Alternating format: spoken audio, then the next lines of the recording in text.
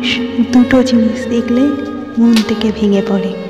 একটা হচ্ছে অনলাইন কিন্তু মেসেজ সেন্ড করা হচ্ছে না মানে আনসেন্ড আর আরেকটা জিনিস মেসেজ সেন্ড করে রিপ্লাই না দেওয়া, তাই না বন্ধুরা? বৃষ্টি মাধুরী অনলি হিয়ার